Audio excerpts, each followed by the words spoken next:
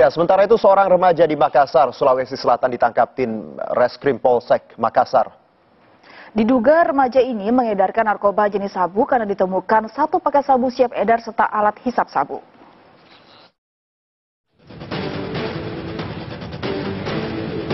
YG 17 tahun seorang pelajar sekolah menengah atas di salah satu sekolah swasta di Makassar, Sulawesi Selatan ini ditangkap tim Reskrim Polsek Makassar yang diduga menjadi pengedar narkoba jenis sabu di sejumlah sekolah.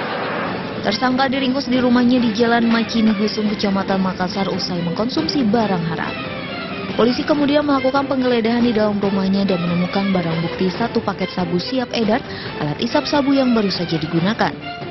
Penggerebekan rumah tersangka ini dilakukan berdasarkan laporan warga setempat yang resah dengan adanya transaksi narkoba secara terang-terangan di wilayah tersebut. Untuk kepentingan pemeriksaan lebih lanjut, tersangka serta barang bukti langsung diamankan ke Mapolsek Makassar, Sulawesi Selatan.